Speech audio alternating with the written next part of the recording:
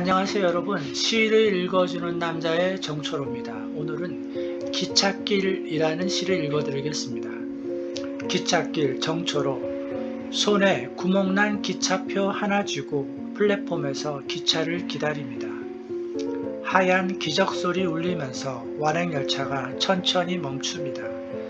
기차역의 벽시계가 정각을 치자 기차는 풍경을 빠르게 그리면서 반질거리는 평양선을 달립니다.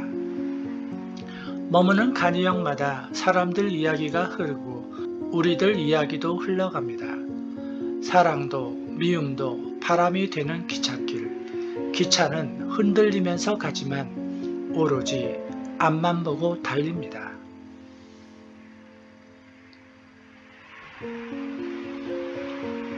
평양선만을 그리면서 달리는 기찻길에서 저는 문득 그 옛날의 비둘기호를 텅 빈 하늘에 그려보았습니다.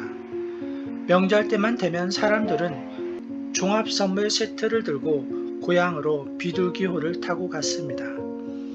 12시간이나 걸리는 기차 안에서 사람들은 무엇이 행복한지 미소를 지우지도 않았습니다. 이제는 다 과거가 됐지만 기차는 우리에게 아련한 기억을 선사합니다. 끝없이 달리는 기차처럼 우리는 달려왔지만 우리에게 선물로 주어진 것은 흰 머리와 주름진 얼굴입니다. 흔들리지 않은 삶이 없다고 하지만 우리는 흔들리면서 앞을 보며 우리의 인생을 살아왔습니다. 지친 내 인생에 오늘 술 한 잔 선사해 봅니다. 기찻길 정초로 손에 구멍난 기차표 하나 쥐고 플랫폼에서 기차를 기다립니다.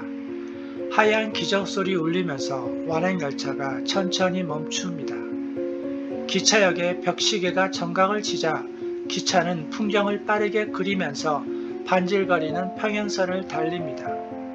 머무는 간이역마다 사람들 이야기가 흐르고 우리들 이야기도 흘러갑니다. 사랑도 미움도 바람이 되는 기찻길. 기차는 흔들리면서 가지만 오로지 앞만 보고 달립니다. 네, 오늘은 기찻길이라는 시를 읽어드렸습니다. 감사합니다.